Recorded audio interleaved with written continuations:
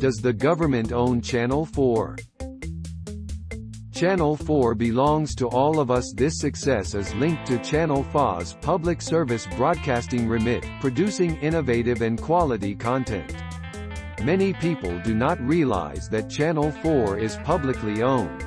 It is commercially run which means it funds itself through advertising and doesn't cost us a penny.